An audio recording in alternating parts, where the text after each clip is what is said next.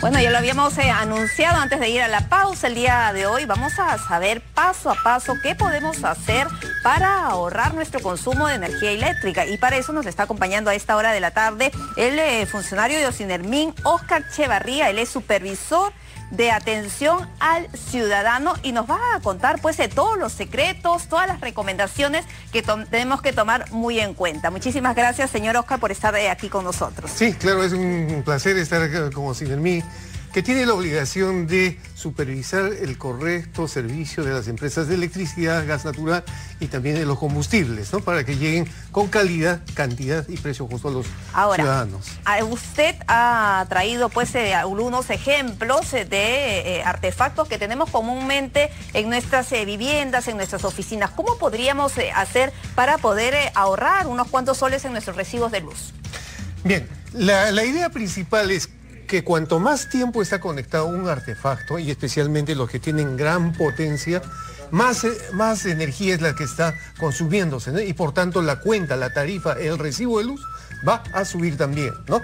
Entonces, Ocinermin lo que recomienda es hacer un uso racional de la energía, ¿no? Evitar el derroche, o sea, no desperdiciemos la energía eléctrica. A ver, por ejemplo, ¿no? Con la secadora, vamos a, empezar con lo que tenemos aquí eh, en imágenes.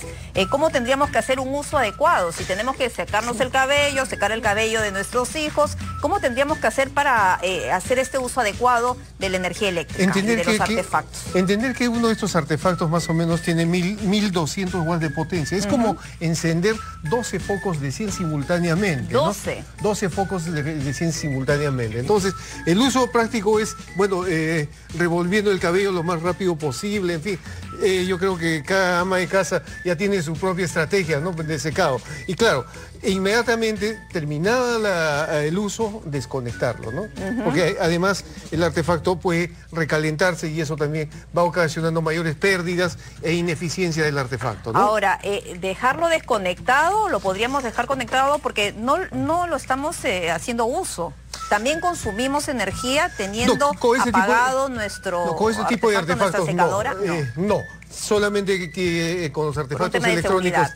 Así es, tipo smart, ¿no es cierto? En, cambio con los artefactos eléctricos o los electrodomésticos comunes, no, es mayor, más eh, por el tema de seguridad que hay que desconectarlos. Ahora, entonces, una secadora más o menos son entre 10 y 12 focos, en simultáneo. simultáneos de este tipo, ¿no? De los incandescentes, ¿no? Entonces, una plancha de esas también eh, tiene una potencia aproximadamente de, eh, en esta por ejemplo, 35 watts, ¿no? Es eh, más pequeño que, un foco estos, ¿no? equivaldría casi a un foco ahorrador.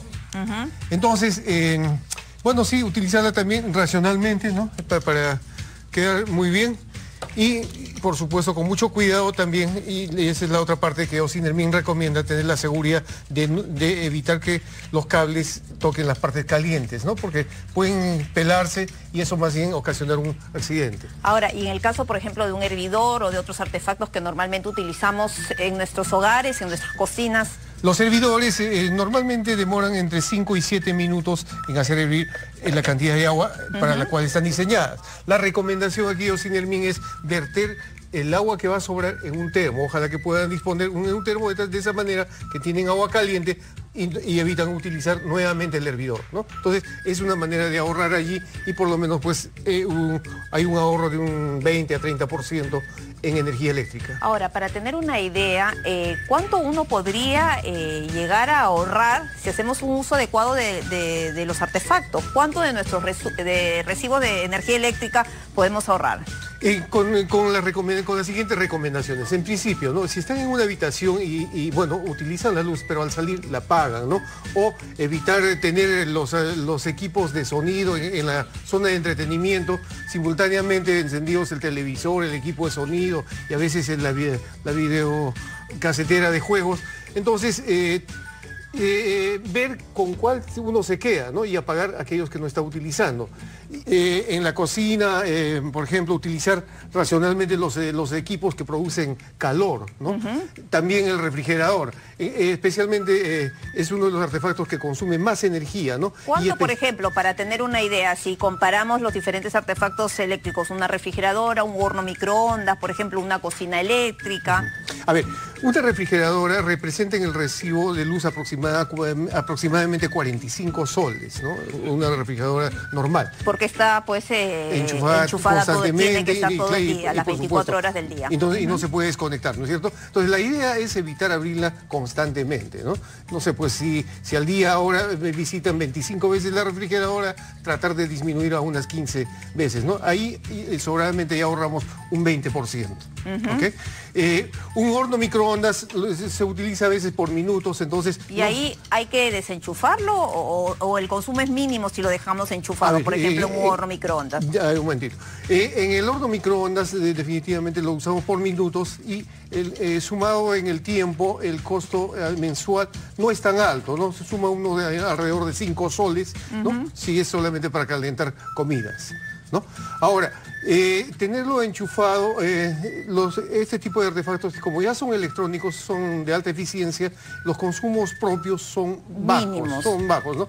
Eso va a representar más o menos unos 10 a 15 céntimos en la factura del mes. Y en el caso, por ejemplo, de una bodega, pensamos eh, que tiene una nevera, ahora que se acerca el verano, quieren algunos pues emprendedores hacer un negocio de la venta de chups. Efectivamente, ¿no? Y la, recomendación es la misma para el tema de de los sistemas de enfriamiento, ¿no? Evitar abrir y cerrar constantemente, ¿no? Y en todo caso, eh, si es que hay necesidad de hacer algún corte, ponerle un temporizador y de esta manera podrían programar en qué momento se enciende el, artefacto. Como las termas. Lo, mismo es válido efectivamente para las termas eléctricas. Eh, tengo que interrumpir nuestro blog tips y eh, Jackie, vamos a rezar en cualquier momento contigo. Seguimos entonces con nuestro interesante bloque tips y más para poder eh, continuar pues eh, conversando qué hacer, ¿no? Para ahorrar unos cuantos soles de nuestros residuos. Bueno, no son tan pocos, ¿ah? Porque es un 30% de lo que podríamos ahorrar con un uso adecuado. Así es, ¿no? Eh, por ejemplo, en el uso, en el aseo, utilizamos la terma, pero también la, mayoría de viviendas tiene la ducha eléctrica automática. Esa es una ¿Se consume mucho con una ducha eléctrica, por ejemplo, con una terma? por supuesto, la terma tiene 1200 watts de potencia, entre 1200 y 1500 watts de potencia. Eso es más o menos como una secadora, creo que eran 10 u 11 focos. Efectivamente, ¿no? Pero una ducha eléctrica tiene 4.500 watts de potencia, o sea, es encender 45 focos de 100 simultáneamente.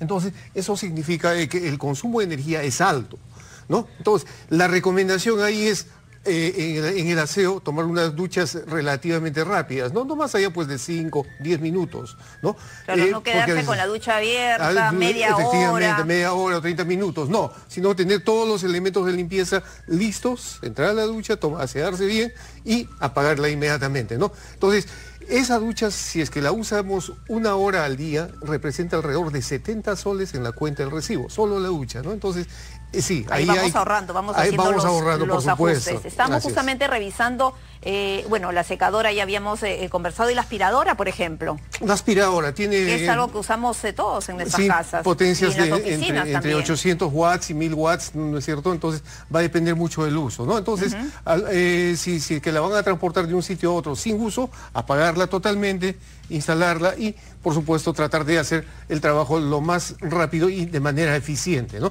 Siempre recordar, ¿no? que cuanto más tiempo está conectado un artefacto y está en uso, más energía está consumiendo. y eso está registrando el medidor. Y porque el medidor no para, está moviéndose permanentemente. Y una olla arrocera. Una olla arrocera tiene una potencia entre 1000 y 1200 watts, ¿no es cierto? Cada preparación demora 20 minutos, ¿no? Entonces, si estamos hablando de un costo de, eh, alrededor de 50 céntimos de la unidad de, energía, que es el kilovatio hora, eh, eh, preparar en 20 minutos nos va a costar alrededor de, de 22 céntimos aproximadamente, ¿no es cierto? Por uso.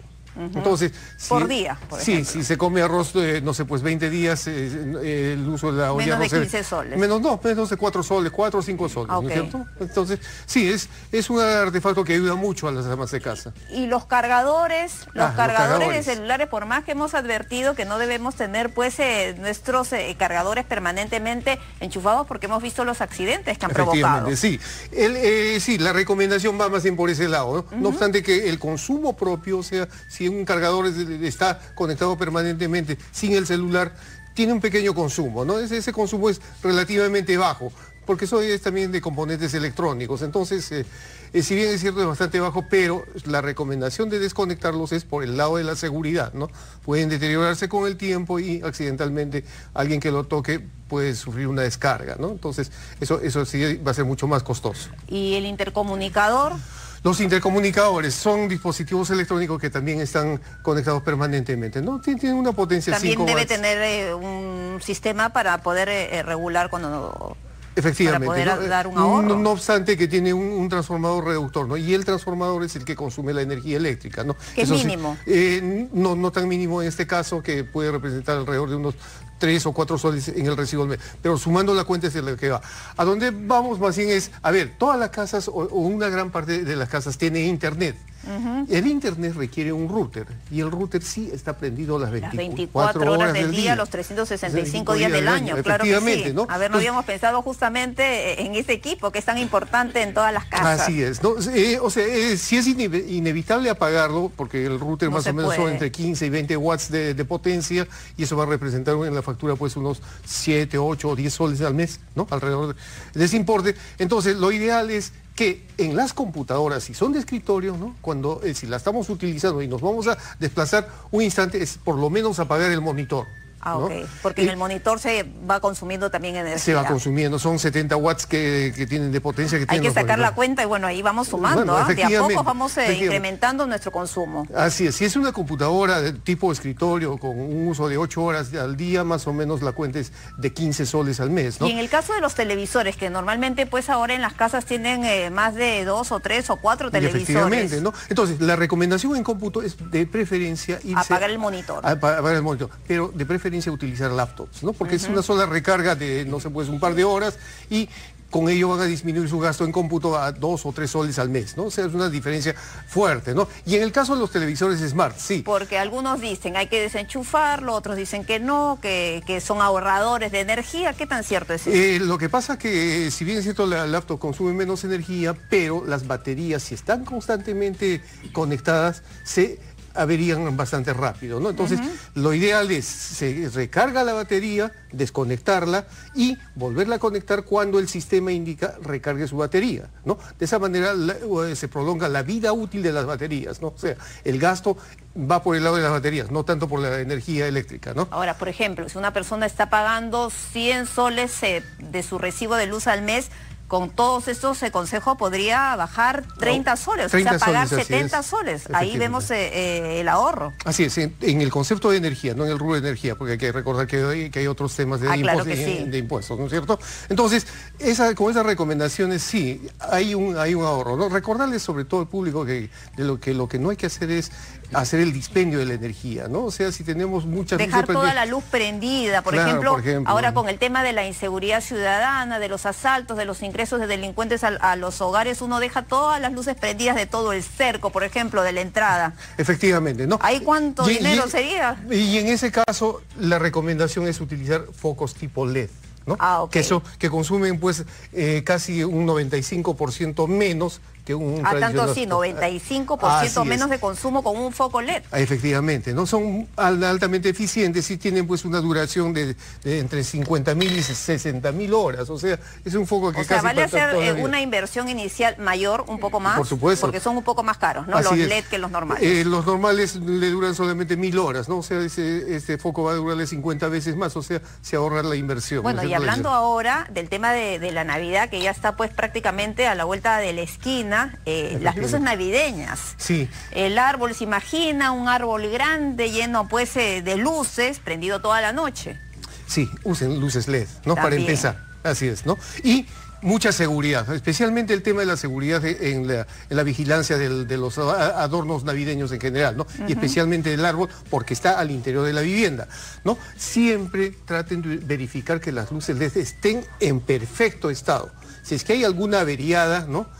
Eh, preferible cambiar ese juego de luces por seguridad, ¿no? Porque no vaya a ser que haya un cortocircuito y los cortocircuitos generalmente derivan en incendios, ¿no? Entonces, evitemos ello.